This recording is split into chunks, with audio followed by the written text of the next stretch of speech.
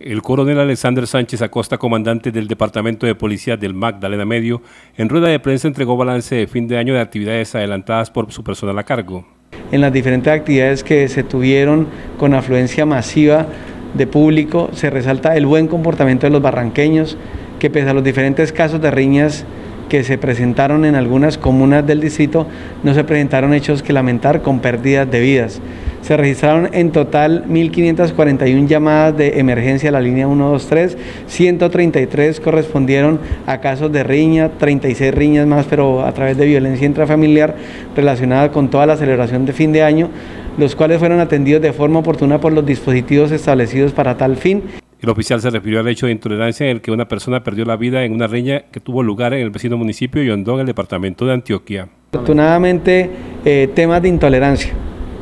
donde eh, las personas al compartir eh, ingesta de licor y temas pasionales llevaron el fin de año a que a hacia las 11 y 40 de la noche en el parque dos personas que tenían una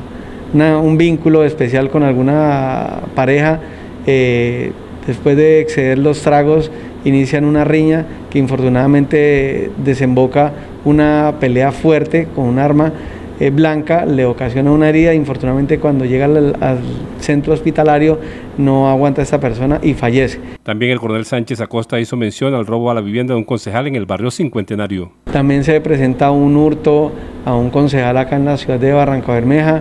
eh, donde le hurtan unas joyas, dos armas, en un procedimiento que se está estableciendo por parte del CTI, quien realizó todas las diligencias en el lugar eh, con el fin de esclarecer rápidamente este hurto y lograr con la captura de quienes lo cometieron. En general, el comportamiento ciudadano se dio de forma normal de acuerdo con el oficial de la policía.